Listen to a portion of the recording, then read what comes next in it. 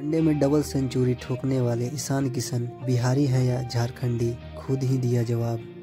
Team India के युवा बल्लेबाज ईशान किशन को लेकर अक्सर फैंस के बीच बहस होती रहती है कि वह बिहारी है या झारखंडी। अब इस सवाल का जवाब उन्होंने खुद ही दे दिया है। वह फ़िलहाल रणजी ट्रॉफी में झारखंड के लिए खेल रहे हैं।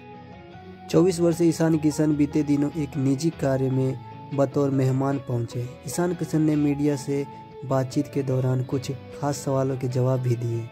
ईशान किशन को लेकर अक्सर फैंस के बीच बहस देखने को मिलती है कि वह बिहारी है या झारखंडी। ईशान किशन ने कहा है कि वह देश के हैं और वह भारत का प्रतिनिधित्व करते हैं। उन्होंने कहा है कि बात रही बिहारी या झारखंडी होने की तो मुझे दोनों ही राज्यों से बहुत प्यार मिलता है। ईशान किशन ने कहा, मेरा जन्म बिहार में हुआ, परवरिश भी बिहार में ही हुई।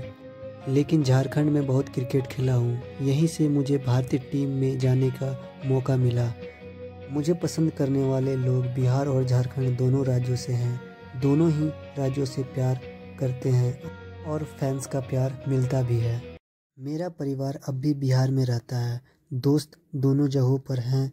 ऐसे में बिहारी हूँ या झारखंडी यह सवाल ज़रूरी नहीं है। ऐसे ही क्रिकेट के नए नए अपडेट्स के लिए हमारे चैनल को सब्सक्राइब करें और वीडियो को लाइक करना ना भूलें।